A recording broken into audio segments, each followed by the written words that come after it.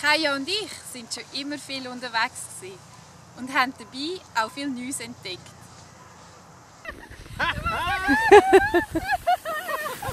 Weil wir unsere Erlebnisse teilen wollten, ist dann zuerst der Blog und dann die jetzige Webseite entstanden. Viele grossartige Partner sind dazu gestoßen und machen die Seite zum Erlebnis für die ganze Schweiz. Über 500.000 Gäste haben uns in einem Jahr besucht und das zeigt, dass die Nachfrage da ist und das Interesse groß. Es ging aber noch viel, viel besser.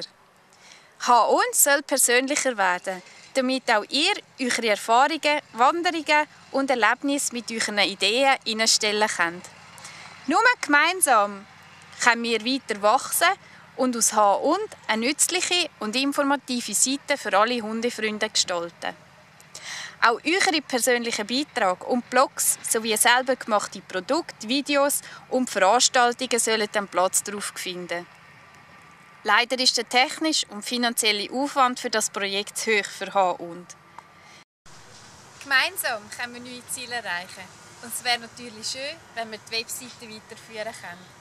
Vielen Dank für eure finanzielle Unterstützung.